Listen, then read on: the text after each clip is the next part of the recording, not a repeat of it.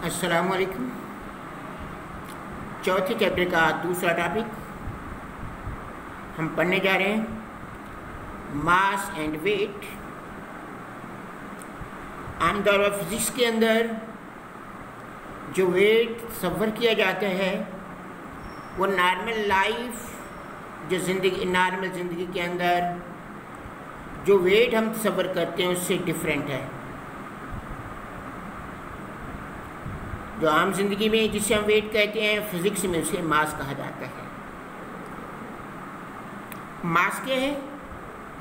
किसी भी जिसम का मास से मराज ये कि उसके अंदर मैटर की कितनी मकदार मालूम है, कितनी मकदार उसके अंदर मौजूद है, उसे हमने मास का नाम दे दिया।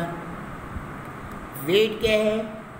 वो फोर्स जिससे ज़मीन किसी भी चीज़ को अपने सेंटर की तरफ़ अट्रैक्ट करती है, उसे हमने वेट का नाम दिया।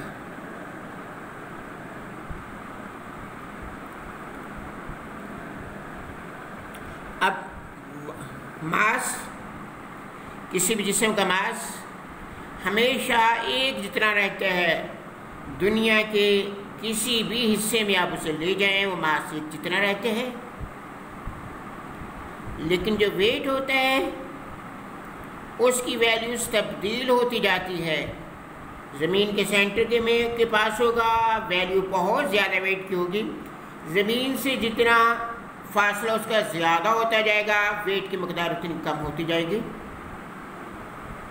नंबर थ्री में वेट एक स्केलर क्वांटिटी है। वेट एक वेक्टर क्वांटिटी है। जबकि मास एक स्केलर क्वांटिटी है। मास को मालूम करने के लिए डायरेक्शन की ज़रूरत पेश नहीं आती। और वेक्टर वो क्वांटिटी जिसके बताने के लिए, समझाने के लिए हमें डायरेक्शन की ज़रूरत पेश आती है, वो वेक्टर कहलाती है। लिहाजा वेट एक वेक्टर क्वांटिटी है। यूनिट जो मास है, उसे हम किलोग्राम में शो करते हैं। और जो यूनिट वेट के है, उसे हम न्यूटन में शो करते हैं। मास को आम फ़िज़िकल बैलेंस होता है जो हमारे घरों में, उससे हम मालूम करते हैं। और वेट को जब भी मालूम करेंगे स्प्रिंग बैलेंस के ज़रिए से हम वेट को मालूम करेंगे। उम्मीद है ये आपको समझ में आ गया होगा।